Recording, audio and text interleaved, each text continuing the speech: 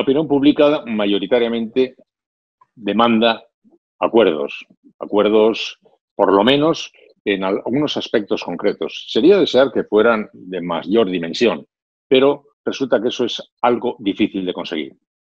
Es difícil de conseguir porque se está viviendo una polarización absolutamente radicalizada que algunos están llevando hasta sus últimas consecuencias. Pero yo quiero subrayarlo, sobre todo en lo que se refiere a la política nacional, porque paradójicamente estamos viendo cómo en las comunidades autónomas y en muchos municipios se están pudiendo producir entendimientos y acuerdos que aquí parecen absolutamente imposibles. Yo diría que si en una emergencia de esta naturaleza no somos capaces de lograr que las fuerzas políticas se unan, desde luego va a ser muy difícil que encontremos una ocasión más adecuada para que lo hicieran. Comienza la votación. Sí, 79 queda convalidado el Real Decreto Ley. El ingreso mínimo vital ha demostrado que se puede llegar a acuerdos. Es difícil alcanzarlo en otras materias, sí, por varias razones. Primero, porque el ingreso mínimo vital presentaba por sus características un aspecto que era imposible de, rechazar. Es decir, el ingreso mínimo vital era imprescindible.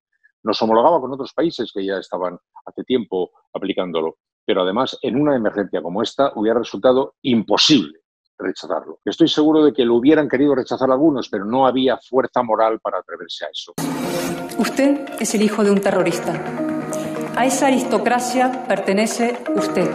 Hay una base de crispación, digamos, que es inherente a la propia actividad política y que a lo largo de toda la historia de nuestra democracia, como todos los parlamentos del mundo, por otra parte, pues mantiene una determinada temperatura. En España, la crispación, además, se agudiza de una forma clarísima cuando la derecha está en la oposición.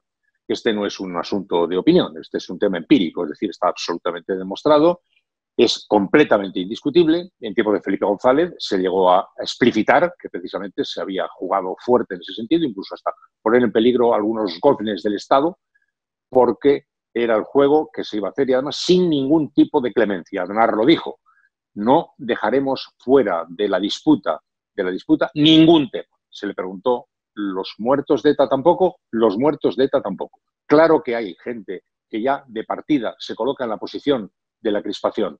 Como vemos en el caso de España, el Partido Popular es un ejemplo perfecto y, repito, no es un tema de opinión, es un hecho completamente eh, empírico, está demostrado.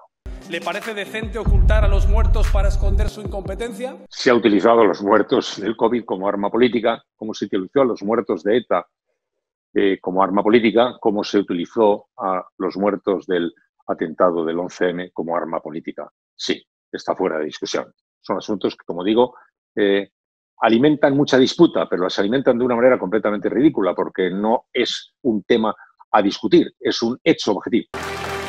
Y esa es nuestra fuerza. La fuerza con la que vamos a salir. Hay una incertidumbre, yo la tengo, eh, por saber qué tipo de comportamientos nos esperan después del coronavirus. Pero respecto a la influencia de la crispación en esos comportamientos, yo no lo relacionaría así. La crispación, en este caso, no ha sido algo que procedía de la calle, que los medios de comunicación han transmitido y que los partidos políticos han gestionado. Ha sido al revés. La crispación ha surgido de los partidos políticos, ha sido dimensionada por determinados medios de comunicación y ha llegado a la calle hasta convertirlo en algo peligroso. No se puede jugar con eso. Es peligroso que eso llegue a la calle, pero por el momento no hay comparación posible entre la crispación que hay en la calle y la crispación que hay en el escenario político. La Unión Europea, a mi juicio, sale fortalecida de la crisis del coronavirus. De hecho, desde que estalló el Brexit, la Unión Europea, cuando todos pensábamos que iba a mostrar las mayores flaquezas, nos sorprendió mostrando una musculatura que no esperábamos cuando se agigantó de una forma extraordinaria una figura como Angela Merkel. Ahora, con todas las contradicciones, con todas las dificultades y con todas las reservas, hay una realidad que da mucha consistencia a la Unión Europea, que es el eje franco-alemán, que ha sido la locomotora histórica, se ha hecho potente ahí, aunque evidentemente tiene amenazas muy graves. Por un lado, hacia el este, los países de la extensión al este que están mostrando una indisciplina y en el fondo una especie de distancia psicológica muy profunda respecto al centro de la Unión. El Brexit, por supuesto, por cierto, me permitiría hacer observar cómo se ha evaporado el peso específico en el, en el escenario internacional del Reino Unido como consecuencia de su despegue del Brexit. El mundo va por muy mal camino, evidentemente, porque tenemos amenazas muy serias. Por un lado, el hegemón, Estados Unidos, no ejerce como hegemón, sino todo lo contrario.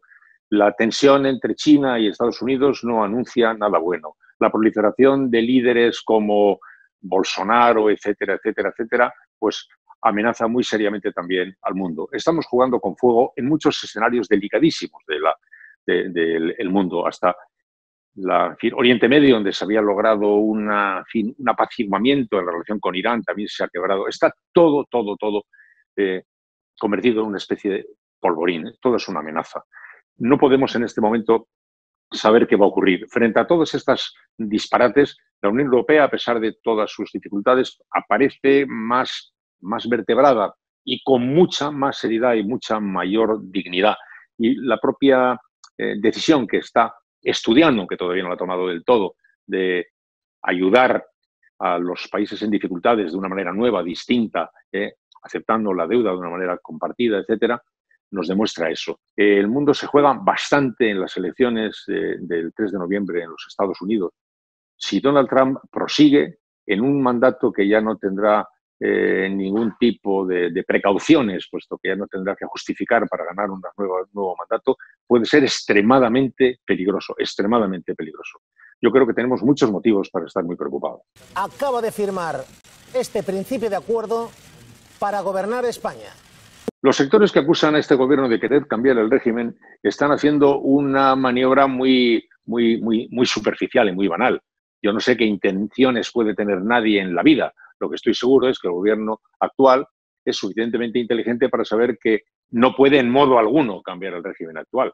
No se trata de que lo desee o lo deje de desear. No creo que se le haya pasado por la cabeza planteárselo siquiera, porque, como cualquier persona sabe, y en el gobierno todos lo deben saber muy bien, los procedimientos que están previstos en la actual normativa para hacer eso que dicen que es un cambio de régimen está muchísimo más lejos de la posibilidad que algunos articulistas creen que eso se puede resolver con dos colpazos. Se creen que Sánchez puede mañana dar la independencia a Cataluña, por ejemplo, les parece eso muy fácil. Se creen que mañana se puede declarar la República, se creen que mañana se puede acabar con el Estado de las Autonomías, se, cree, se creen cosas o dicen creer cosas que saben que no pueden ser así.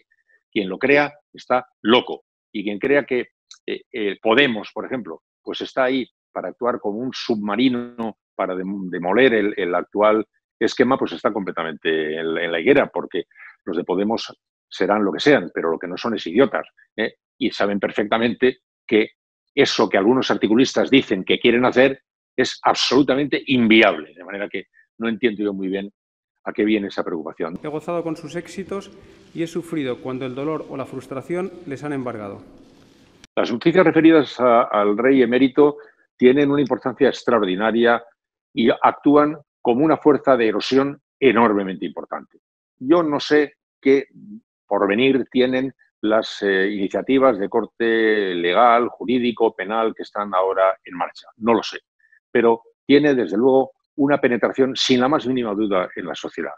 Porque además, estas irregularidades que se están conociendo ahora, eh, coincidiendo con el momento de máximo dramatismo con el que vive la sociedad española, con apuros económicos enormes, con cientos de miles de empresas en apuros gravísimos, con millones de personas en paro o arriesgando el paro, son noticias que son verdaderamente dinamita.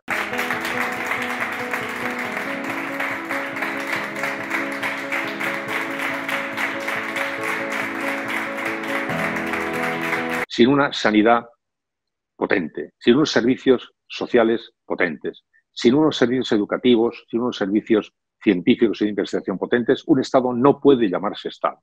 Deberíamos considerarlo una realidad preideológica para iniciar la discusión a partir de ahí, porque eso no se puede discutir. Primera lección que yo he aprendido, por tanto, un Estado o es sólidamente social o no puede llamarse un Estado. Segundo, he descubierto cuáles son los servicios esenciales. Y cuando repasamos la lista de los servicios esenciales nos encontramos a los sanitarios, a los barrenderos, a los basureros, a los reponedores de mercancías en los supermercados, a los trabajadores agrícolas en el campo. Creo que esa es una lección que deberíamos aprender. Deberíamos aprender a recolocar las cosas, decimos reordenar nuestros valores. yo diría, reordenar nuestros valores sociales.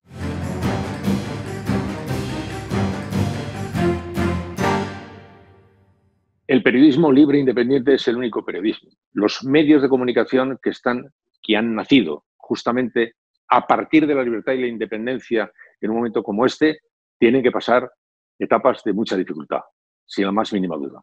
Pero no creo que sean muy distintas las dificultades. Son muy distintas, pero no menores, las dificultades que van a tener que, vivir todos los demás medios de comunicación.